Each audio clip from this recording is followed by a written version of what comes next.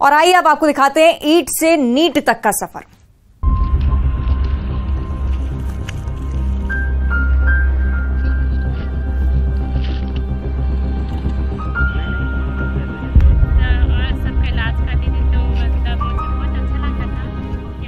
तो अगला जो मामला आपको बताने जा रहे हैं, हम ये दावा करते हैं कि कहानी आपको रुला देगी। लेकिन उससे ज़्यादा ज़रूरी ये है कि आपकी ज़िंदगी को हौसलों से भर देगी। कामयाबी की जितनी कहानी आपने देखी सुनी होंगी, उन सबसे ज़्यादा प्रेरणादायी है यमुना की कहानी।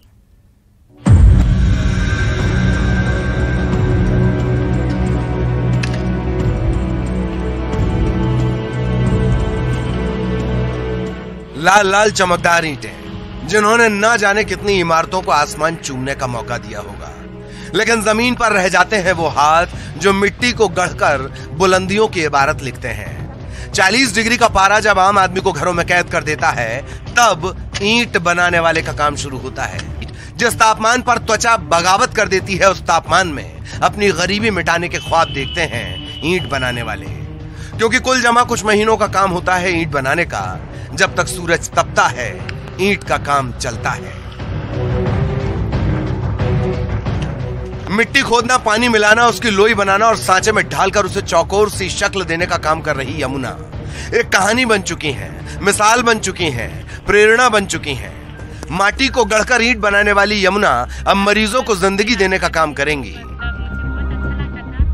यमुना दुर्ग के एक ऐसे गाँव से आती है जहाँ मरीज़ डॉक्टर से दूर और मौत के ज़्यादा करीब महसूस करता है। डूमरडीह की यमुना चक्रधारी के माता पिता के लिए काला अक्षर भैंस बराबर है। परिवार के पास मोबाइल तक नहीं ट्यूशन और कोचिंग तो बहुत दूर की बात है। बस जलती धूप में पसीने से तरबतर खुली आँखों से देखा गया एक सपना था। माँ के पास पिता के पास। मैं तो पढ़ी है ही नहीं हूँ। मैं इसीलिए सोची कि मेरी बेटियों लोगों को पढ़ाऊँगी और उनको कुछ आगे बढ़ाऊँगी। कैसी तैयारी में करती थी इन लोग? उन लोग काम वाम करके अपना रीता होती थी खाना वाना खा के अपना बैठ के फिर पढ़ पढ़ना चालू करती थी फिर एक आध घंटे पढ़ती थी फिर उसके बाद फिर काम में थोड़ा ध्यान देती थी ऐसे टाइप की रहता था। कितनी खुशी लग रही है आज? खुशी बहुत लग रहा है मेरे को। सपना तो नहीं देखते थे सर लेकिन क्या है हमारे बच्चे वो पढ़ाई में दसवीं के बाद टॉप में आई हैं। उसी से उन लोगों का हौसला बढ़ा है और उन लोग जी तोड़ मेहनत काम भी किए और पढ़ाई भी की। कितनी परेशानी आती है फिर बहुत परेशानी आती है सर फ़ीस भरने के लिए। इधर उधर करके अपन मैनेजमेंट करते थे आज कितनी खुशी लग रही है? आज तो आसमान छूने वाला खुशी है। माता पिता को शायद ये भी नहीं पता होगा कि यमुना चक्रधारी ने ऑल इंडिया नीट एग्ज़ाम में 720 में से 516 नंबर हासिल किए। ऑल इंडिया रैंक तिरानवे हज़ार छह सौ तिरासी और ओबीसी रैंक बयालीस हज़ार छह सौ चौरासी। बेटी ने जब माता पिता को बताया होगा कि वो डॉक्टर बनेगी तो उन्होंने भी कहा होगा, पहले कोई चूंटी काटकर हमें होश में लेकर आओ। अपने परिवार के साथ यमुना भी ईंट बनाने का काम करती हैं। जो थोड़ा बहुत वक्त मिलता तो मिट्टी के सिंहासन पर बैठकर सपने को सच करने के लिए मेहनत करती। यमुना ही नहीं, उनकी बहन युक्ति ने भी एम ए हिस्ट्री में टॉप किया है। सर, बहुत खुशी लग रही है। इतने सालों बाद, इतनी मेहनत के बाद आखिर आज मैं उस मुकाम में पहुँच गई जहाँ मैं जाना चाहती थी। मैं डॉक्टर बनने वाली हूँ। मुझे बहुत खुशी हो रहा है। अच्छा देखिए इतनी अड़चने आई यहाँ पे तो आपने कोई ट्यूशन भी नहीं लिया किसी से मदद भी नहीं ली उसके बावजूद भी आपने क्रैक कर लिया। कितना कैसा रहा ये?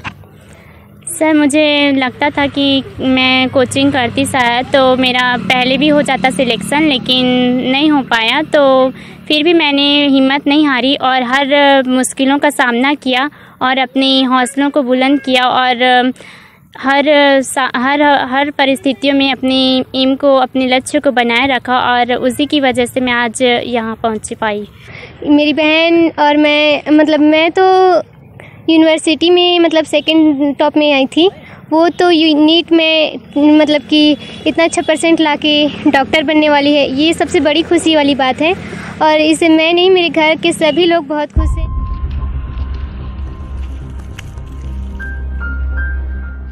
सोचिए जरा, जिस परिवार के बच्चों के लिए धूल खिलौना हो, मिट्टी बिछौना हो, कोयला श्रृंगार हो, धुआँ उपहार हो, उस परिवार से निकलकर डॉक्टर यमुना बनने का संघर्ष क्या आपको ताकत नहीं देता? विस्तार से सुनेंगे मिट्टी से उठकर सोना बनने की कहानी। मिथिलेश ठाकुर, न्यूज़ 18 दुर्ग। विरासत में ज्ञान, धन, प्रेरणा बहुत दूर की बात है। यमुना के परिवार के पास तो मोबाइल तक नहीं था। मिट्टी की ज़िंदगी देने वाले हाथों ने मरीजों को ज़िंदगी देने का सपना क्यों चुना होगा भला? देखिए।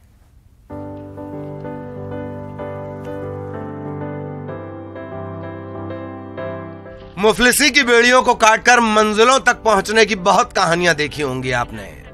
लेकिन गरीबी की मिट्टी का सीना फाड़कर एक मजदूर बिटिया के डॉक्टर बनने का एक किस्सा अलग है। मजदूर माता पिता के पसीने से अफसरी का अफसाना बहुत सुना होगा।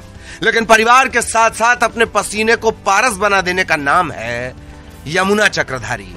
न सिर्फ़ यमुना, बल्कि बहन युक्ति भी झोपड़ी में जन्मे कोहिनूर से कम नहीं। युक्ति ने भी एमए हिस्ट्री में टॉप किया है। सुनिए संघर्ष के सोना बनने की कहानी।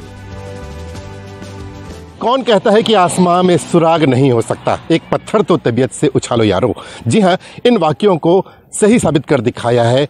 दुर्ग के डुमरडी में रहने वाली यमुना चक्रधारी ने, जिसने हाल ही में आए नीट के एग्ज़ाम में शानदार सफलता प्राप्त की है, बयालीस हज़ार नंबर आए हैं ऑल इंडिया रैंक जिसने ये साबित भी कर दिखाया है कि जो होनहार होते हैं, जिनको रुचि होती है, वो कोई भी अड़चने बाधा नहीं बनती है। और आज हम इन्हीं से बातचीत करेंगे। आज कैसा लग रहा है कि किस तरह से तैयारी की थी, कितनी खुशी लग रही है? सर बहुत खुशी लग रही है। इतने सालों बाद इतनी मेहनत के बाद आखिर आज मैं उस मुकाम में पहुँच गई जहाँ मैं जाना चाहती थी। मैं डॉक्टर बनने वाली हूँ। मुझे बहुत खुशी हो रहा है। किस तरह की अड़चने आई थी जब आप तैयारी कर रही थी? और सबसे बड़ी बात यह है कि सोचना कैसे सोचा कि आपको नीट की तैयारी करना है और डॉक्टर बनना है? क्यों ऐसा ख्याल आया? सर डॉक्टर बनने का सपना तो मेरा बचपन से ही था। और इसके अलावा मैं मतलब अपने घर के हालातों को भी सुधारना चाहती थी क्योंकि हम लोग अब मतलब गरीब ही हैं, परिस्थितियाँ ठीक नहीं हैं तो फिर मैं अपने परिवार को फाइनेंशियली सपोर्ट करना चाहती थी और इसके अलावा मैं इंडिपेंडेंट भी बनना चाहती थी, जिसके कारण मैं ये एग्ज़ाम क्वालिफाई करके एक अच्छी डॉक्टर बनना चाहती हूँ। हारती हुई तरुणाई के बढ़ते हुए आंकड़ों के बीच, अभाव की दीवारों के बीच कैसे पनप जाता है एक सपना? जान लीजिए। सर, मोबाइल और ट्यूशन तो मतलब मुझे ज़रूरी नहीं लगता, क्योंकि ये एग्ज़ाम ऐसा है जिसमें हमको मतलब पूरा अपना दृढ़ निश्चय बनाए रखना होता है और बहुत पेशेंस रखना होता है। इसके अलावा बहुत पढ़ना भी होता है, क्योंकि एग्ज़ाम बहुत डिफ़िकल्ट होता है। तो मुझे मतलब मुश्किलें मुझे भी होती थी, क्योंकि मैं ट्यूशन नहीं करती थी। तो मैं अपने डाउट्स हैं, क्योंकि हमारे घर में एक ही स्मार्टफ़ोन है तो मैं उससे अपने डाउट्स क्लियर करती थी। यमुना और युक्ति वो शक्ति है जिसकी बुनियाद पर कहा जाता है, गढ़बो नवा छत्तीसगढ़। कामयाबी की यही कहानी मजबूर करती है ये कहने के लिए कि छत्तीसगढ़िया सबले बढ़िया। कामयाबी की इस कहानी को अगर सरकारी किताब का हिस्सा बनने का मौका मिले, सरकारी मदद मिले तो वो दिन दूर नहीं, जब संघर्ष की आग में तपी मिट्टी से बना ये सोना सुनहरे छत्तीसगढ़ की बुनियाद बनेगा। यमुना की कहानी जिसके सामने कई चुनौतियाँ आई, पारिवारिक की आर्थिक स्थिति भी सामने आई, लेकिन इसने कभी रुकी नहीं और तैयारी करते रही और आज एक शानदार सफलता हासिल करके न सिर्फ़ दुर्ग बल्कि संपूर्ण छत्तीसगढ़ को गौरवान्वित किया है। न्यूज़ एटीन छत्तीसगढ़ के लिए दुर्ग से मिथिलेश ठाकुर।